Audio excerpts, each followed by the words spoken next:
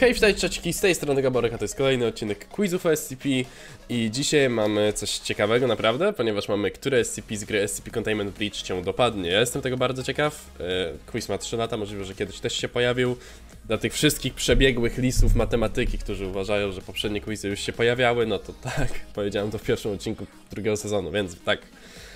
Ah, Link oczywiście do quizu macie w opisie, jeżeli chcielibyście go sobie sami rozwiązać. E, Ja zapraszam gorąco do oglądania.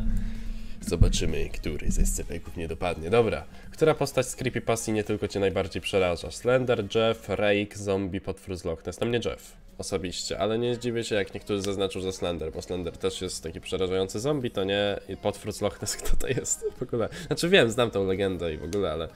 Eh, Rake też jest w miarę. Ale ta dwójka to jest A.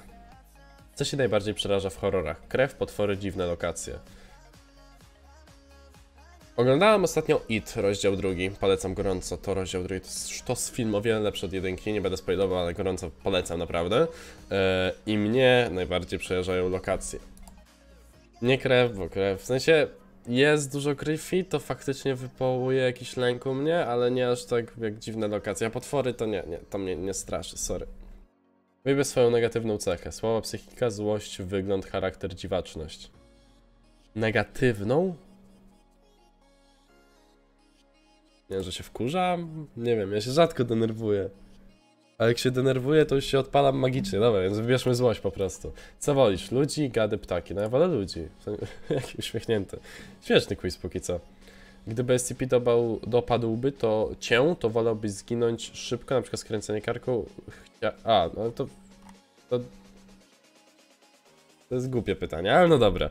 No ja bym wolał chyba przez skręcenie karką tak szybko, żeby to, wiecie, nie bolało. Wybierz kolor.